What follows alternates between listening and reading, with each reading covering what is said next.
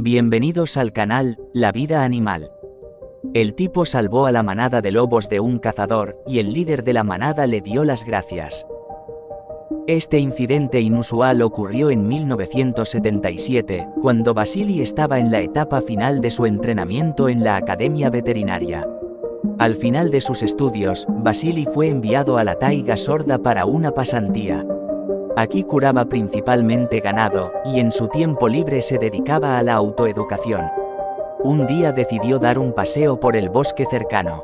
Veinte minutos después, vio a un lobo corriendo, seguido de una loba con un joven. Inmediatamente después de ellos, un cazador apareció en el escenario con una pistola. Basil, que nunca aprobó matar animales por diversión, inmediatamente se lanzó sobre el cazador, gritándole que se fuera. Hunter estaba claramente insatisfecho, pero se fue, sin embargo, no sin amenazas. En ese momento, sucedió algo sorprendente. El lobo se alejó de su familia, recogió una rama de abedul cerca y la puso a los pies de Basil. Luego, el animal lo miró a los ojos por unos momentos y se retiró con su familia. Durante todo el viaje de regreso, Basili reflexionó sobre lo que sucedió, sosteniendo esta rama en sus manos, como un recuerdo caro.